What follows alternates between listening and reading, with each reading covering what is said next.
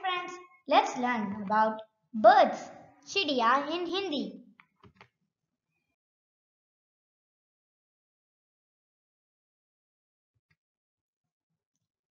Peacock, mor, tota, parrot,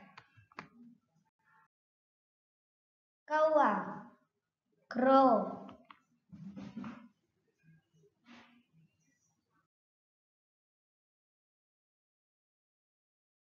Kuttar, pigeon.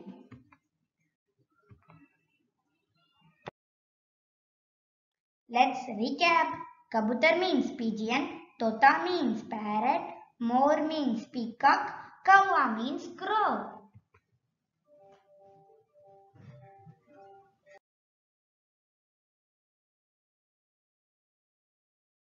Thank you friends.